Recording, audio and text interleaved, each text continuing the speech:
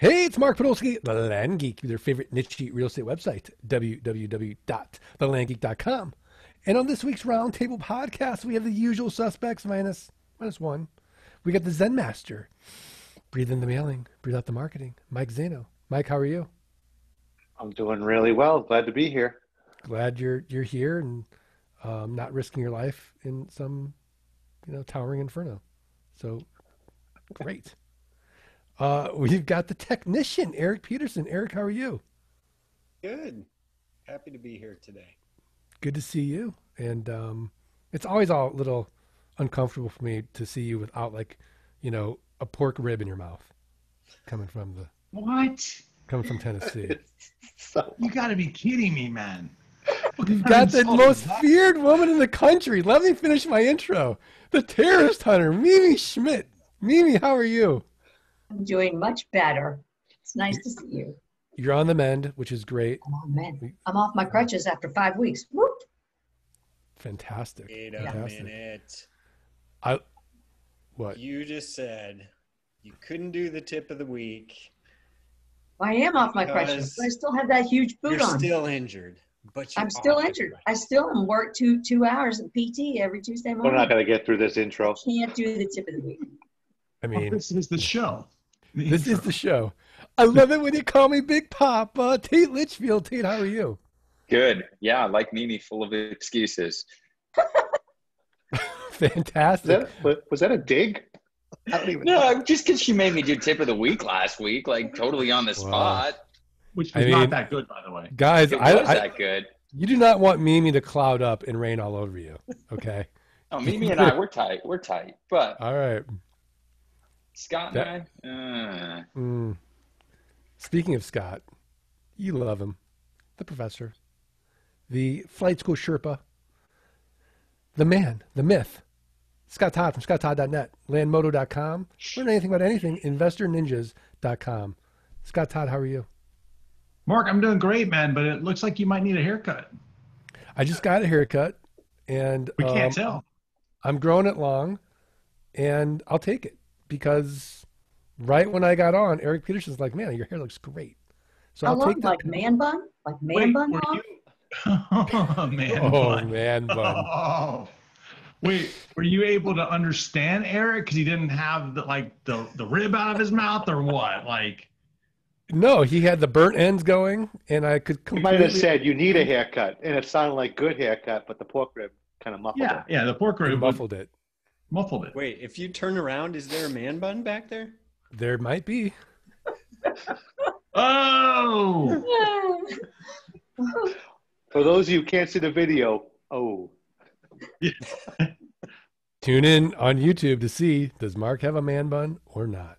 Anyways, we got a great topic for the roundtable, and so I'm going to just kind of phrase it this way, because this is this is sort of a, a pet peeve that um, I have. Like other people like notice it in me, and they call me out on it, and now I'm calling other people out on it. Um, we'll just pick on Scott Todd. So I'm in Tampa, and we go to this really nice place, like incredible restaurant called Burn Steakhouse. Of course, Tate couldn't make it, but whatever. That's a whole other story. So it's a massive menu. Like you can't go wrong on this menu. And I look up at the server and I say, What do you recommend? And the server kind of looks at me and Scott looks at me like, Why are you asking the server?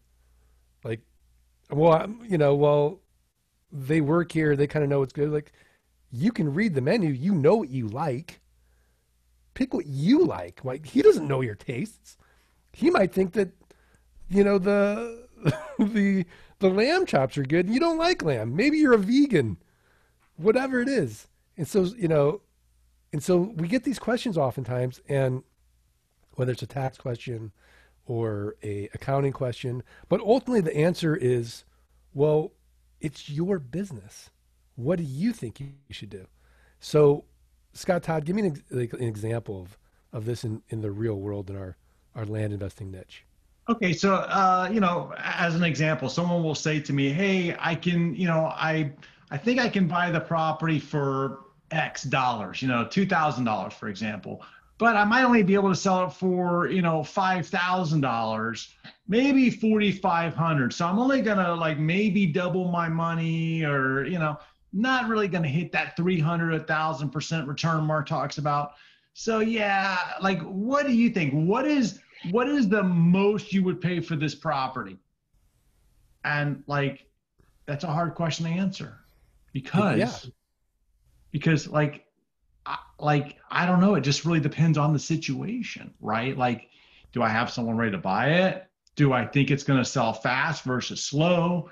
Uh, am I okay making that amount of money or or not? Right. So like, there's many there's many hypotheticals that you could throw in there, and I think that that's sometimes you know sometimes you got to figure out like what is my yield requirement? Like, how much yield do I want to make on a particular deal, or how much money do I want to make on the deal? Or, uh, you, know, you know, it's not always about getting the best deal. It's about getting the deal done. You're an investor. Invest. Right, right. So Tate, how do you how do you kind of help people with their their thinking so that they kind of take ownership of it? Not, hey, um, what do you guys do? But think about it in the terms of, you know, what is going to be is me as the CEO of my own company. I should be thinking about what I'm comfortable with. Well, I think it's important to realize that this is a process. It's not something that you're most people are good at immediately, right? Most people who get in and start building a land business have never built their own business before. So they're not comfortable thinking that way. And so it takes time for them to adopt the CEO mindset, the CEO mentality. And like Scott said, what Scott's margins are might be way higher than what your margins are. And you've just got to ask yourself, is this a worthwhile activity? Based on my expected return, does it make sense for me? How would I do this? How would I, you know, we're happy to share, right? Assuming we can, and it's not something we're not going to feel comfortable sharing about, like maybe a probate question, maybe a legal advice. We're not going to give that kind of information, but we're happy to share as long as we don't hinder you from spreading your wings and making those decisions on your own. And and the reality is it just takes time. You got to get comfortable being uncomfortable. And some people catch on to it really, really quickly, and others don't. I mean, we see it all the time. How quickly should I outsource? Well, the the, the cop out answer that we always give is once it becomes painful, once you decide you don't want to do that job anymore, outsource it. Well, when is that, right? What's what's the time frame for that? There is no date. There's no timeline. You know, for Scott, he hated scrubbing that list after one night. He needed to outsource immediately, right? For other people, they love it. I don't get it, but they love it, right? And that's okay. Keep going, right? So I, I think it Yeah. just takes time. You got to do a lot of uh, reflecting, reflecting on your business. You got to be working on your swim lanes. You got to take real accountability for the success and failures that you're having within your business, and that'll help you realize when it's time to kind of expand and spread your wings a little bit. Yeah, what, what I love about our coaching program, though, is that, and we always say this from day one, it's not coaching therapy. So when you ask us a question, we don't just sit back and like, well, what do you think you should do, right? Um, and kind of you know boomerang it right back to you. No, we we do utilize our experience and and and shortcut it for you, but there are certain things where we'll tell you what we're doing, but ultimately the question is the, the real the real answer is well, what are you most comfortable doing? And so mimi i'd love to know from you like when you're having these one-on-one coaching calls where what kind of question do you get where you're like um, i'm going to tell you what i do but ultimately this is sort of personal preference like you know like mark it Bern's with scott like you know scott might eat that steak medium rare but you know mark is is going you know eating way cleaner than scott and you can tell just by looking at me on the video um, how much healthier i look compared to him so one of those things For me, I, It's- I, that's that's ridiculous. That that for me, that's it's what Liam. It's what VAs do what, right? Um, you can have so many different VAs do so many different things, and there's no one definition of an intake manager or a Facebook poster or a sales assistant, right? It's really about not only your personal preference about how to run your business, but if you've got a VA, you want to be able to help them develop their career and give them more interesting, exciting things to do, right? And you may find that you have a VA that's not good, so good at what you originally hired them for, but maybe they have a talent that, that you can use another way. So I found that I hire these people and their jobs morph over time. And so what I originally thought about how I wanted my business to go becomes more efficient, people get better, their roles change. So it, you know, it all depends upon where we are in, in the, the life cycle of our businesses too. So I think that question of I, you know, how do you do it? You know, what do you have each one of these roles, these people do? It, it's very, it's very personal about where your business is. It's not so much, it's not black and white. It's not black and white. So, Erik Peterson, how do you handle these sort of, you know, grayish type of inquiries that you get where you don't want to be, you know, kind of jerky about it and be like, well, I don't know, what would you do?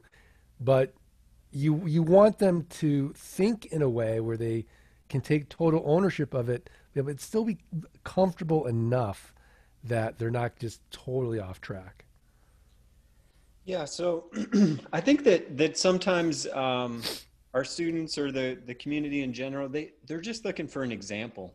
Um, they might not always be looking to do exactly what what I do or what Tate does or or somebody else, but you know we talk about following the recipe and and and uh, you know doing the processes that we teach but there are aspects where you've got to kind of make your own choices and, and do your own thing. But for those new investors um, sometimes they don't even know where to begin with that. So um, you know we're gonna we're gonna share our perspective and, and maybe how we do certain things. Um, but kind of like others were saying you know i mean what I'm doing today may not apply exactly to a situation of a current student of mine. You know, they might not be at that point yet, or, or maybe they're past, or, or who knows. But um, I think the important thing is being willing to to share an example so that someone has kind of a jumping off point to say, okay, well, I, I understand what you're doing there. Now let me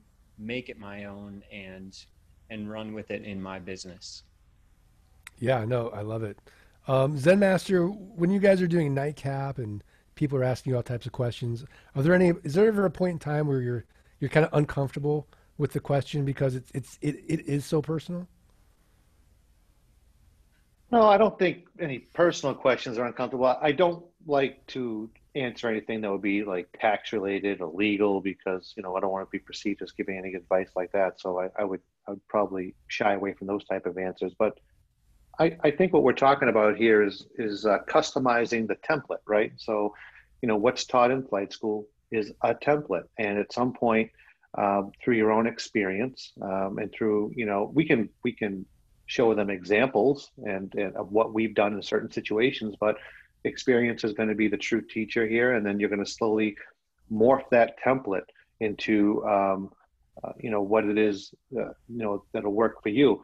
I know I know that we always uh, talk about Scott talks about in the flight school. You know, it's a recipe for brownies, right? So he maybe he's teaching that brownie mix, but when you're done, you could make muffins, right? You can make scones. I mean, he's giving you a template, but then you can take that template and you can alter it uh, to fit your need. As so, I think that, and I also think of when, we were talking about this, I sort of think about how people measure success too. Some people might think of uh, more time, more freedom, more money or, or I want to have a sense of accomplish something. I, I, I, grew something from nothing. So uh, that's all very personal. So, I mean, we're, we're all following the same model, but the metrics that we use to judge our success and the particulars of our business are going to vary. But that's sort of like when you become artistic with it. After you, uh, you've learned the fundamentals, you've they're ingrained in you. You know the five plates, you know how to spin them. Now it's like, okay, I'm going to customize because I sort of feel like I'd like to do this a little bit different, or maybe I'd like to go after these type of properties, or I'd like to, you know, whatever. Uh, that's that's just going to come with experience. Yeah, yeah, and it, it, I really love what you said, and I, I really think that when you know your why deeply, you can endure anyhow, and then the how is not that critical, but it's all about is this going to get me closer to my why, and use kind of use that as the decision matrix, and then kind of bounce it off of um, the expert like uh, Mimi or Erik or Tate. I guess Scott Todd too. You know, you know, so like and and and just kind of get their example. So, Scott Todd. Well, I think the uh, I- I'm being mark. tough on you today. I, I think the coaches could be like um, when you go bowling. I think I've said this before, right? You have these uh, what are they called bumpers, like so it doesn't you don't get a gutter ball. Like they're going to prevent you from getting a gutter ball, but you know, you, there's there's lots of room on that alley the way you bowl, you know. So they're sort of keeping you from going way off track with these sort of ideas that may not be very productive. They're sort of keeping you right in line. We'd be more likely to get that strike. Yeah, absolutely. Scott, do you do you like that example? Yeah, the, the gutter ball, bumper, bumper ball. Yeah, I think that's a good way of doing it. You know, it's it's really hard to answer questions that pertain to a certain person's financial aspects too, right? You know, and you kind of talked about this, like uh, tax advice, legal advice.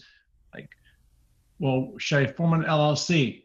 I I don't know. Should you? You know, like it de- it depends. There's a lot of it depends questions when you're talking about business formation in legal entities and that's where you, you really have to have people that you know either do your research or talk to people because you know what what might work for me may not work for you in your situation. And it, you know i always tell people especially when it comes to like the llc thing man i know a guy he still buys land in his own name. He's been doing it for decades okay? Like Yeah. every property he buys is in his own name. Well he has a reason why he does it. I don't understand it but someone's told him to do it and that's what he's doing. But you know that works for him.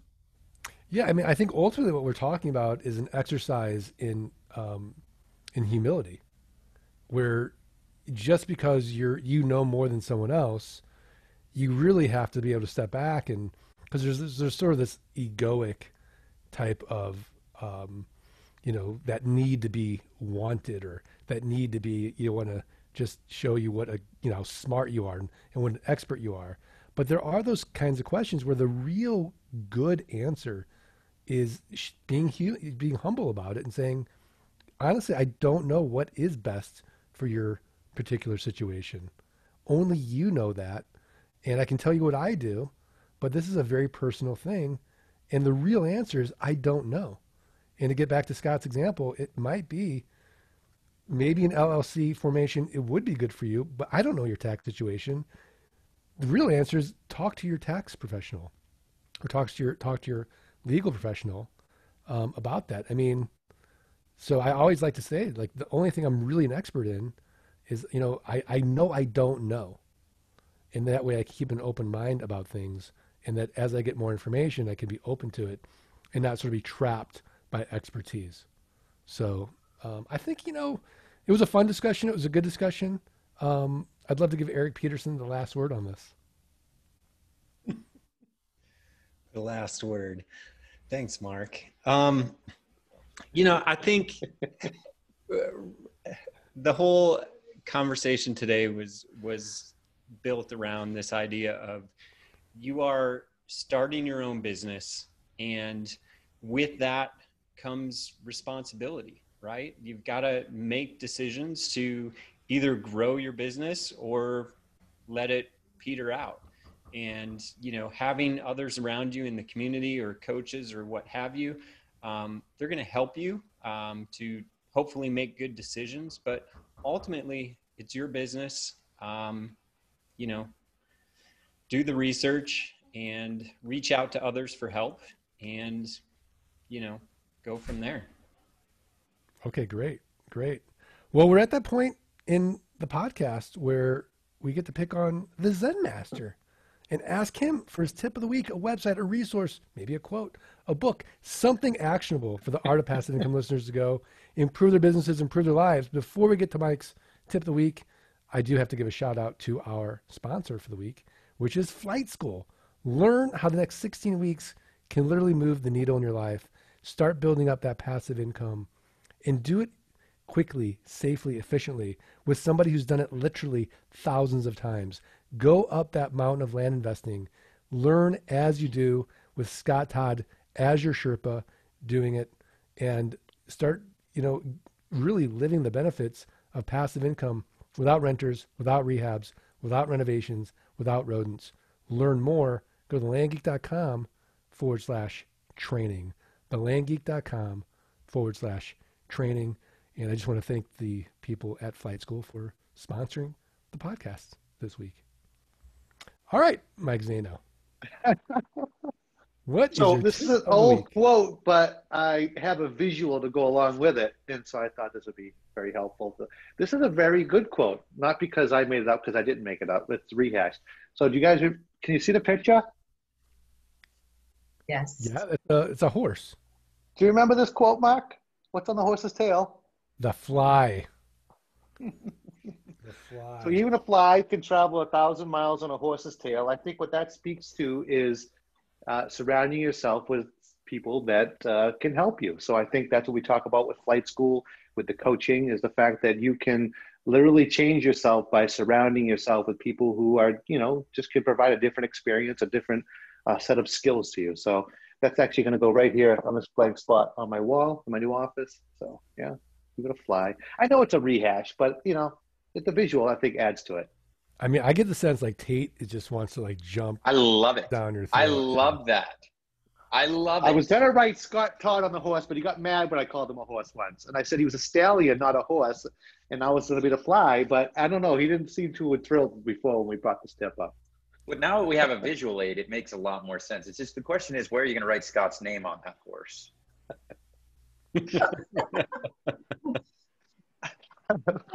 All right, Kate. I, Where, I I, don't know where where, the room is. Kate, I see where we're going with this podcast. It's going to quickly spiral out of control. I, I am kind of curious though, like Mike, in the background behind you, are those knew it. quotes of yourself? I listen. This is going to be covered soon. I told Laura, wait a minute. You're supposed to get the quotes, but you weren't supposed to put my initials there. That's so presumptuous. But she thought, oh, I didn't know that. I thought I asked you if you wanted your initials there. So I haven't allowed anybody into the office yet because I need to put a nice mountain scenery over there. Yes, there are a couple of quotes. I do. It's okay. It's all right. I, I'm just trying to understand, you know, I mean, Would you like to see the quotes? Yes, Yes. certainly. Let's see it. Give us a tour. Wholesale. Wholesale holiday. You know, Holiday Inn. The Uh, MZ is going to be gone. Uh, I, I, it's too presumptuous. And then No, I, no, I, I, I like the I like the MZ. you do. That's kind of presumptuous. Don't you think to have your Uh, own? no, no, no. I, it's you know, if it said Mike Zaino, big deal, then yeah. Yeah. This says Did you see the other one? Yeah. Yo fl- Yo solves fly. everything. And of course, the horse with the fly right in the middle. I won't put anybody's name on it. I just know who it represents. No, no, I, I I love it. I mean, Mike, do you go to parties now and and when people ask, you know, who who you are, do you kind of like go into anchorman mode? You're like, people know me. No. I he, he hands them he hands them a book of his quotes and it's like, here. Yeah. Here. This is who I am. Would you like me Like- for you? Some light reading material. Right. Yeah. What? It just- they call me the Zen master for a reason. Here's my Yeah. quotes. Yeah. I mean, I'm look, a- it's all good, man. All good. No worries. It's all good. I, I do have a I do I guess we're I guess we haven't finished our podcast yet, have we? Well, no, we we, we haven't can we can we can do the uh, awkward abrupt end. So Okay, because Um, I just have before we do, I just gotta thank the listeners. We end. Yeah. Yeah, yeah. I, I just want to thank the listeners, remind them the only way that Erik Peterson is going to continue coming on these roundtable podcasts with a full rack of ribs is if you do his three little In his favors. mouth. In his mouth, chewing them during the podcast is if you do his three little favors. You got to subscribe, you got to rate, you got to review the podcast. Send us a screenshot of that review to support at thelandgeek.com. We're going to send you for free the $97 wholesaling course, How to Double Your Money 30 Days or Less, and a free Mike Zaino quote attached to it. That's a retail value of $1,200. So take advantage of that. Please do it. It really helps us. And um, thank you. So are, are, are we good, everybody? Tate, are we good? We're good. Mike, are we good? Well, good. Mimi? Great. Scott? Yeah, all good. Erik? We are good. One, two, three. Let's Let That freedom Um, ring. ring. thing. Pretty good. Yeah. That might be one of our better ones. Hey, just curious, um, how many people on this call took action on Tate's tip of the week last week versus mine? I know Zaino took twice the action on mine. Mark, you said you were doing it. Did you do it? I, I did do it, and it did feel that's good. Three, three people took action on my the that I can account for. How many people gave? See, yeah, because Laura, Mike, and Mark, that's my three. How, Mimi did it too. That's four, baby. Four. Sorry. There's the showdown. There Hey, it is. listen, Hey, that's your that's- guys' loss. I don't, I don't, I don't have anything to prove to you guys. How big do you write, Mark? Because I started today doing double It's- space because it's a lot. It's really, I can't even read this. It's so wow, ugly. Mark. Oh my gosh, you guys have been busy. It's a- it's Wait, wait, lot of what today that? I That's went to the journal? double space. Yeah. Yeah, Look at their journals. that's Look a lot Mark's. of writing. around, Mark. That's a that's a It's- lot of writing. It's a lot. Look It's a lot of writing. writing. Stop. But I've been That's impressing myself with how smart I am. All these things that come out. I know it, it, it's great getting them out. The problem is I can't read them after I write them. There you go. So that's, Uh, this that's is interesting. problem. It is interesting. It's very helpful. No, I might still employ Questions? Tate's tap because I, I might still employ his. I haven't had a chance. I, I, I'm going to give it a full chance. We're a guest. Okay, Tate. No hard feelings. It's okay. I mean, I, I, it's okay. Listen, I'm, I'm, I'm cool with it. I'm confident. I know that the uh, listeners are really going to find a lot of power in outsourcing their entire lives. I say, I'm cool with it. All right, we'll see. I- Okay. We'll see. We'll see. We'll see. Um, is Bern's open, Scott Todd? yeah, it's open. It is. Is it safe to go there? That place is like. Yeah, I think it's okay, but I don't know. I like I still haven't eaten in a restaurant like since March. So Wow. I think the last, like, I, honestly, I think the last time I went to a restaurant was with you at the end of beginning of March. Wow. Yeah, I, I I haven't been inside a restaurant, but I'm eating outside now yeah, um, with the Misters, um, and I feel somewhat safer doing that. yeah. What's weird is like, um, my wife and I went to the mall the other day, and uh, we're like, oh, let's just go to the food court. We go to the food court, get some food. We and I'm like, well, where are we gonna eat it? Because we haven't eaten, like, like we've eaten in in the car, uh, on a, on a nice date, nice date in the car. Uh, we've eaten like outside, but there was no outside seating, so we sat in the food court and ate. It was really kind of weird. Like, should I take down the mask and eat? It's okay. I don't know. I mean, Erik, how, are you are you just bringing in barbecue or Oh, You guys- gee. sitting outside? Come on, man. We've been out to eat a few times, actually. yeah. Yeah. What about you, Mimi? We order out a lot because I've been on crutches until Sunday. I couldn't really cook. I've been ordering out a lot, or the girls make something. Natalie made homemade pasta. Literally, the rolled the noodles out. Yeah. Wow, That yeah, sounds good. Really, that's yeah, really good. Really yummy. That's what she did last night. Mamma mia. That sounds really good. Yeah. It's good. Um, does, how how well does that freeze, by the way? And just ship? fry it, or she sticks the, the dough, you know, after it's been cut into the noodles into the fridge, or she dries it. Okay, so I'm just going to put in the chat where to send it. Just put it in some dry ice. And Yeah, but you yeah, know, we next we week now- we'll do like the whole taste test. Okay. Yeah. What about you, Tate? Uh, we haven't really been out. Um, more so because little kids and eating out's kind of a lot of work for us still right now. So we do takeout, eat in the car. Kids are strapped into car seats. It's good. The little, their little baby masks. Well, that's just it. They, I mean, my daughter won't wear it. It's like she's afraid of it. She won't do it. So we don't go anywhere as a result. But uh, it's all right. Yeah. I'm. I mean, I'm really excited for uh, the Mike Zaino merch, where I can get like a mask that says "Deal Flow solves everything," or a picture of, a, of a horse and a fly, and just kind of rep, and then just like the MZ as the logo. What do you think, Mike?